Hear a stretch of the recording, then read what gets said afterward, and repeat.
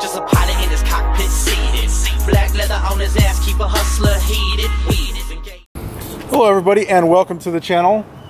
So if you recall a few months ago, maybe a month ago or so, I don't really remember how long ago, I installed this uh, uh, wicker bill. And um, although I'm really happy with it and I think it looks really good, it, um, it does look slightly out of place on the car. So it, um, it's just a little bit more than the rest of the car. Like it's a, a it stands out a little bit too much and it's just like basically like you got a wing on a stock car. So trying to address that a little bit. And I mentioned that when I first, um, when I first put it on that I'm going to have to spruce up the rear end a little bit more to kind of uh, accommodate. So what I got was a Spoiler King um, rear window spoiler. I got that right now. We're going to be putting that on today. And then I'm also going to delete all the Dodge here and then black out the tail lights, I think and maybe remove the IRT, maybe not. But first thing I'm gonna do is get the, um, the rear spoiler, the window spoiler, and we'll see how that looks, and then um, probably get those, um, those tinted uh, LEDs, tinted uh, covers, LED covers, or whatever they're called. So um, first thing we gotta do, as you can tell, the car is absolutely filthy. It's been sitting here for a while. Um, I do drive it every day, but I haven't driven it like this weekend at all, so Let's uh let's wash it first. Let's let me start you guys off with the cold start.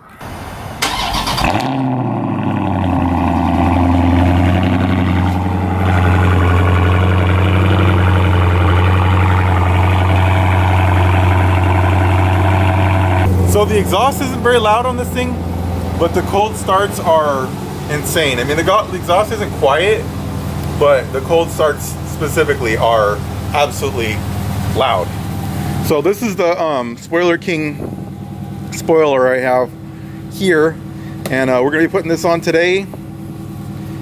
Uh, it looked pretty good, but we'll have to open it up and see what it looks like. But before I do that, we're watching the car. So let me get let me get that started.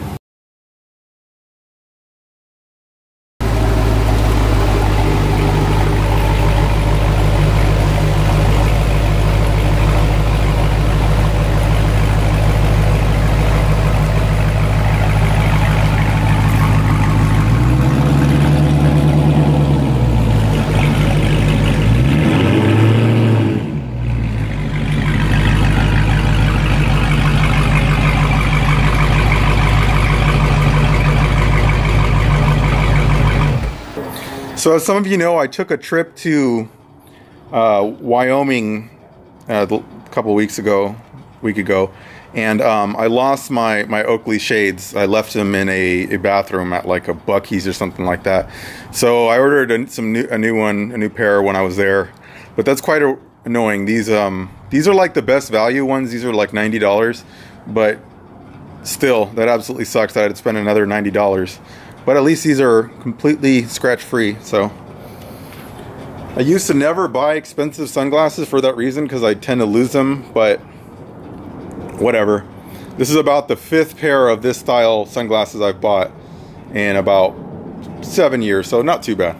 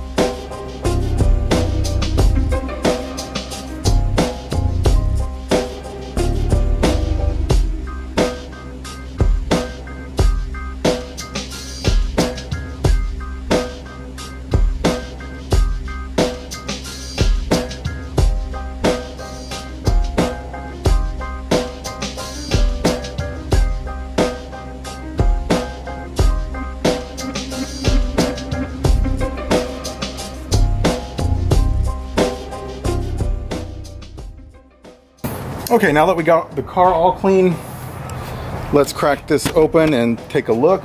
As you can see, I still have my factory tires right here.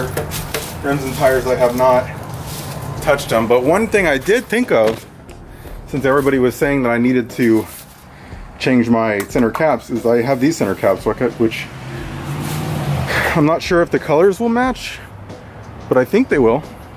So I can always just pop these off and put them in my center cap so I have a little Dodge rather than a blank. But honestly, to me, it's really not that big of a deal, but maybe I'll do that one of these days.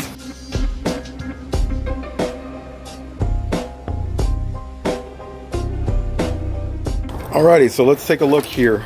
It's in the plastic, so it's not gonna scratch my thing. First thing I can say is it's really heavy. I don't know the exact weight, but it's definitely not light. Let me look on the box, maybe it'll have the weight. Five pounds? So yeah, that sounds about right. This thing's about five pounds. Um, not necessarily a bad thing. It's not like super heavy, but it's, uh, you know, heavier than I anticipated it being, which basically means it's just higher quality. And it is completely sealed. So it looks like Spoiler King is uh, top notch. So let's check out the instructions. Oh, like nice. They want you to leave it between the dash and the windshield for 30 minutes to warm up so you can bend it. Yeah, it's like 60 degrees. That's not gonna happen. But we'll see what if we can just push it on. So they want you to cut and partially remove film, center the spoiler, and they want you to put some tape on it and then leave masking tape on for 24, 48 hours. So the first thing they want you to do is uh, center it. Okay, obviously goes this way. It's actually pretty flexible, so I don't think the flex is gonna be that big of an issue. And the windshield is completely dry. So that's about what it's gonna look like. Okay, and the camera turned off, I'm not sure when, but I've been heating up the, the thing. And uh, in case you're wondering what the brake light looks like with it in place, because it is kind of low, we're gonna hit that.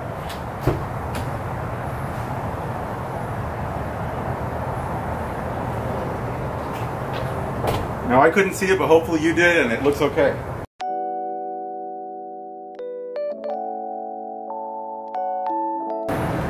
Okay, that took a longer than I thought to get the tape started, so I might have to warm it up again since I before I do the final press on. Might be pliable enough still, but we'll see.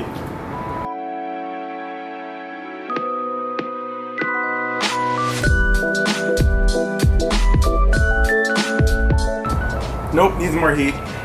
Damn it.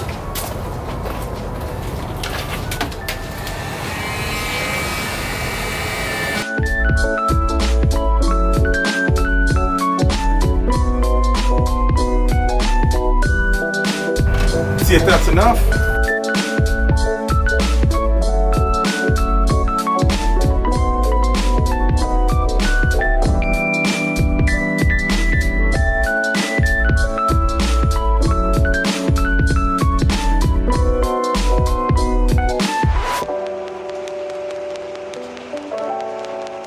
I want to give you a good look before I uh, do a final press down, but you can see I have it like right above the car line. Now when I press it down, I'm gonna bend it and make sure it goes exactly where I want it. And it looks pretty even throughout the whole thing. As you can see, it's lifting up a little bit in the middle, but that's okay because it's gonna go down when we push it down. And on this side, we have pretty much the same thing. This is exactly how I want the other side to look, so I'm just gonna make sure I adjust it. And then we're gonna tape it all down and then marvel. Well, we're marvel, then tape it down.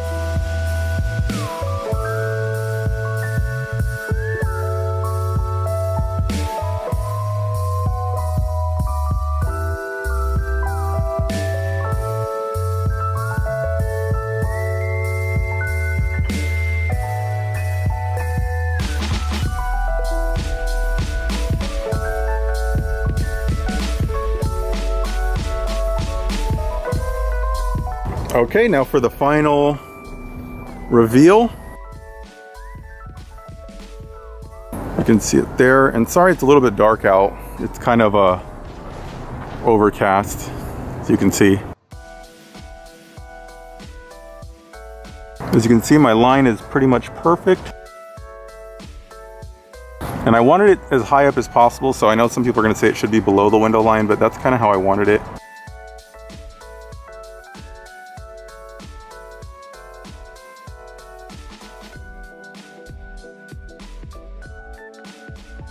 Make sure it's nice and pressed down everywhere.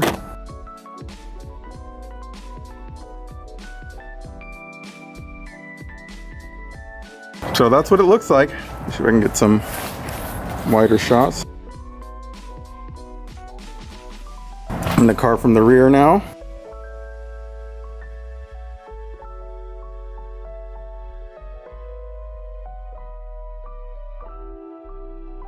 From the side.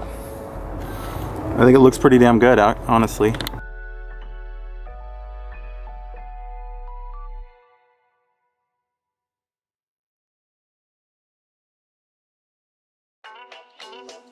Definitely gives it a, a different look.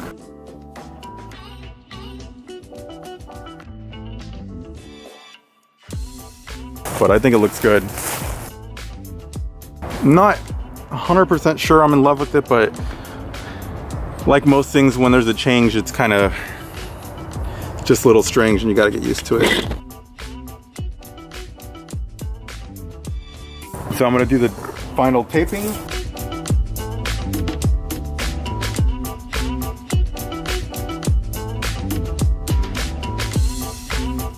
Okay, all done. Now I know I went a little bit excessive with the taping, but it's not warm out here, it's cold, so I just wanna make sure the thing stays nice and in shape and doesn't move and all that good stuff.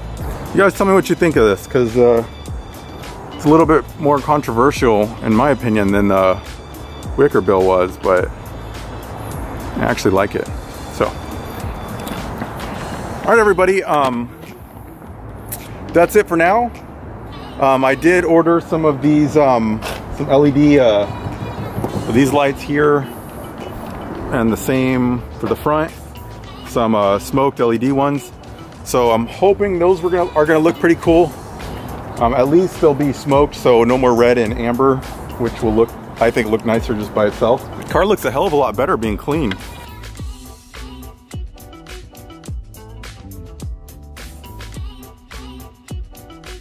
Yeah, it looks a lot better clean. I always have it dirty. Note to self, wash car. And you see my garage with all the crap in it. Now I can move most of the stuff, like I could just move things to the side or whatever, but what I can't move is that those huge pallets of tile. They weigh about 1,800 pounds each. That one's a little bit less because it's got a little bit less tile in it, but those are what's in the way and Sure, I could un unpack it and then stack them all over here, but that's, oh my God, that'll be a huge pain in the ass. And it'll still be in the way. So once they do the flooring in the house, then I'll have my garage back. We'll have to clean up everything else, but that's no big deal. Oh, there's a pallet over here too. So I don't really want to lug around, uh, you know, whatever, six, six, 7,000 pounds of tile. That's the situation. And here are my mufflers. I was gonna say, did those flood? But duh, I got this car after the flood, so obviously they didn't. So anyway, that's it for now. Hope you guys like this. Be sure to like and subscribe. Still got the supercharger coming. I'm gonna try to go this week to go talk to them and um, I'll, I'll, film it all and everything and see what they say. I might put the deposit down at that point, but I'm like 95% sure I'm gonna go with the shop. Um, that seems to be what the consensus of what everybody thought and um, I, I, agreed with it too. The shop, stop just seems safer and it's mildly more expensive. So, um, and they tune it and everything, so it just seems like a better deal all around. So yeah, I think that's that's it. So everybody take care. Peace.